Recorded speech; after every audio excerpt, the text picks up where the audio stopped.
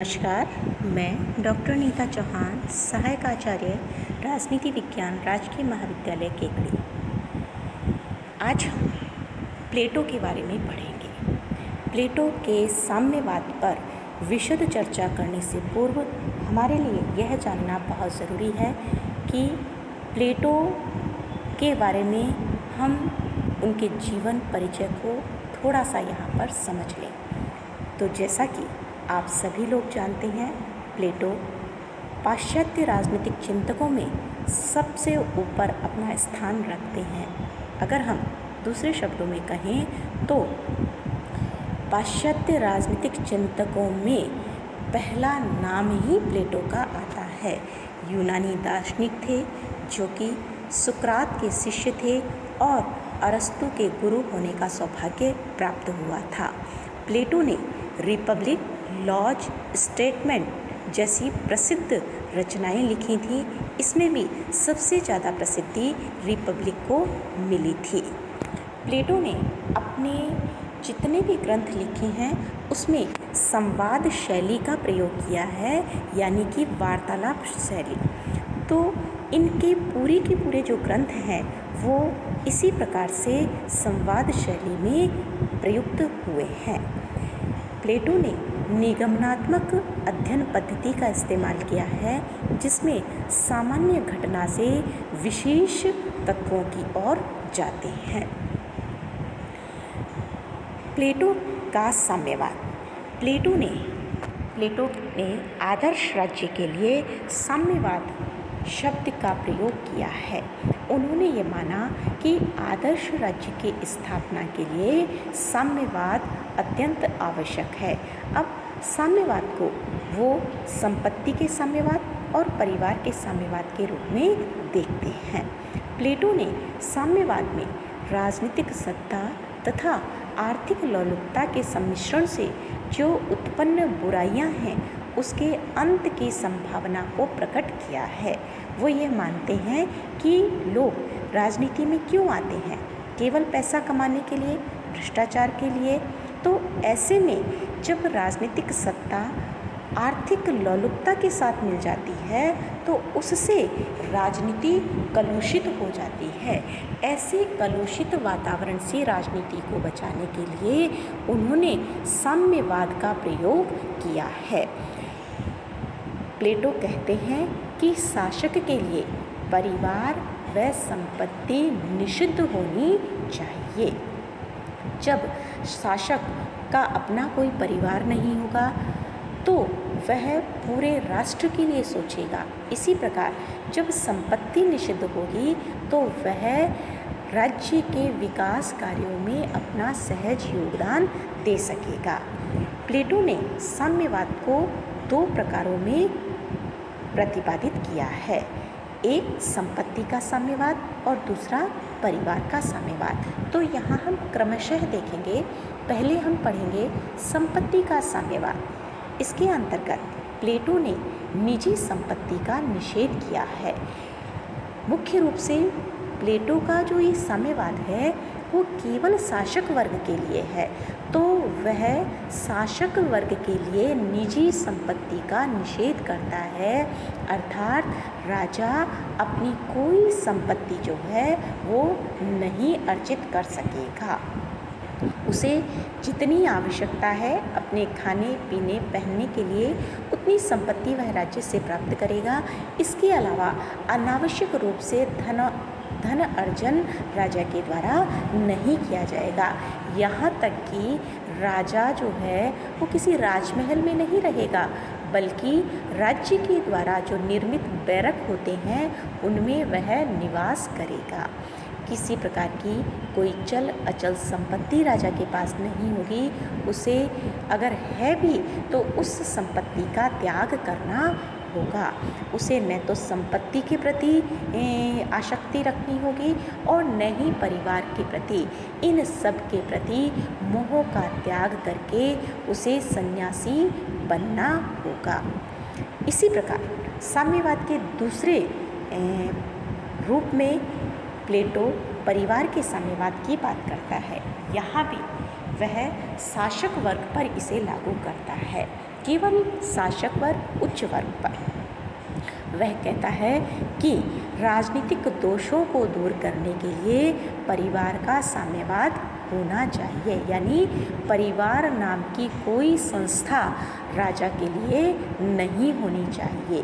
पूरी तरीके से परिवार संस्था को वह समाप्त करता है, क्योंकि वह यह मानता है कि सार्वजनिक हित प्रमुख होते हैं। राजा का दायित्व जो है, वो व्यक्तिगत नहीं है बल्कि उसका दायित्व संपूर्ण राज्य के का चिंतन करना है, संपूर्ण राज्य में निवास करने वाले लोगों के बारे में सोचना है। तो ऐसे में अगर परिवार होगा तो वह केवल अपने परिवार के बारे में सोचेगा, राज्य पर ध्यान नहीं देगा, इसलिए परिवार नाम की कोई संस्था राजा के लिए नहीं होनी चाहिए। इसके अलावा, वह परिवार के साम्यवाद के अंतर्गत यह कहता है कि अगर परिवार का साम्यवाद किया जाता है तो एक श्रेष्ठ पुरुष का श्रेष्ठ स्त्री के साथ समागम होगा, जिससे कि अच्छी संतान उत्पन्न होगी। यानी अच्छी संतानोत्पत्ति के लिए, जो कि आगे चलकर एक अच्छा दार्शनिक राजा बन सके, उसके लिए परिवार नहीं होना चाहिए, बल्कि परिवार का साम्यवाद किया जाना चाहिए। उन संतानों के पालन पोषण का दायित्व प्लेटो राज्य के ऊपर डालता है। यानी राजा को कुछ नहीं करना है। एक श्रेष्ठ पुरुष और श्रेष्ठ स्त्री का समागम होगा। उससे जो श्रेष्ठ संतान उत्पन्न होगी, उसका पालन पोषण राज्य के द्वारा किया जाएगा। प्लेटो ने जिस साम्यवाद की रचना की है उसकी आलोचकों के द्वारा आलोचना विभिन्न बिंदुओं के आधार पर की जाती है। नंबर एक आलोचना के अंतर्गत कहा गया है, मानवीय प्रकृति की मूलभूत प्रवृत्तियों की आलोच, अवहेलना। प्लेटो अपने साम्यवाद में निजी संपत्ति का निषेध करता है, जबकि निजी संपत्ति एक स्वाभाविक प्रवृत्ति है। व्यक्ति जब जन्म लेता है उसी के साथ वह अपने माता पिता की संपत्ति में हिस्सेदार बन जाता है।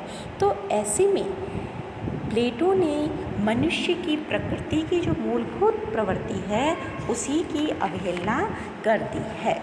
दूसरी जो आलोचना की जाती है, वह है जीवन के सामान्य अनुभव के विरुद्ध। प्लेटो कहता है कि परिवार का साम्यवाद होना चाहिए पत्नियों का साम्यवाद होना चाहिए, संपत्ति का साम्यवाद होना चाहिए, जबकि यह गलत है। अगर जीवन को हम सामान्य रूप से देखें तो एक श्रेष्ठ स्त्री और पुरुष के समागम से श्रेष्ठ संतान उत्पन्न हो जाए, उसके बाद की स्थिति क्या होगी? एक स्त्री का कोई पति नहीं, एक पुरुष जो है, उसकी कोई पत्नी नहीं। तो ऐसे में व्यभिचार ज़्यादा उत्पन्न होगा, बजाय कि नैतिकता की स्थापना हो सके। इसलिए अगर सामान्य अनुभव के रूप में देखा जाए तो यह नितांत गलत सिद्धांत कहा जा सकता है। तीसरी जो आलोचना की गई है, वह व्यक्तिगत संपत्ति का अभाव प्रगति के मार्ग में बाधक अगर एक व्यक्ति के जीवन में सद्गुण विकसित किए जाने हैं तो उसके लिए व्यक्ति के पास संपत्ति होनी चाहिए। व्यक्ति विकास कब करेगा? जब उसके पास संपत्ति होगी। संपत्ति होगी तो वह आगे अपने जीवन की उत्तरोत्तर, उन्नति के मार्ग तलाश करेगा। लेकिन जब संपत्ति ही नहीं होगी तो वह अपने जीवन को एक नैराश्य में भर लेगा और विकास के सारे मार्ग जो हैं, वो अवरुद्ध हो जाएँगे। चौथी आलोचना की गई है प्रतियोगिता का अभाव। प्रतियोगिता का अभाव अगर हम देखें तो प्रेरणा शक्ति समाप्त हो जाएगी। जब संपत्ति अर्जन की भावना नहीं होगी तो व्यक्ति आगे चलकर किसी प्रकार के विकास की बात नहीं सोचेगा। वह समझेगा, ठीक है, अपने को तो जीवन निकालना है। किसी प्रकार से भी जीवन निकाल सकते हैं। और जब प्रतियोगिता नहीं होगी तो श्रेष्ठता हमारे सामने नहीं आ पाएगी। अगर हमें अच्छे गुण विकसित करने हैं तो हमें प्रतियोगिता जीवन में अवश्यंभावी रूप से स्वीकार करनी होगी। अगली आलोचना की जाती है, परोपकार और उदारता की संभावनाएँ नष्ट। जब परिवार नाम की संस्था नहीं होगी, संपत्ति का निषेध होगा तो व्यक्ति न तो परोपकार करेगा, न उसके अंदर उदारता की भावना होगी। तो ऐसे में ये जो महत्वपूर्ण व्यक्ति के गुण होते हैं, एक व्यक्ति के व्यक्तित्व के विकास के लिए जो गुण हैं, उन गुणों का अभाव हो जाएगा। तो इस प्रकार हम कह सकते हैं कि प्लेटो ने जिस साम्यवाद की का सिद्धांत प्रस्तुत किया है, उसकी विभिन्न रूपों में आलोचना की जा सकती है। धन्यवाद।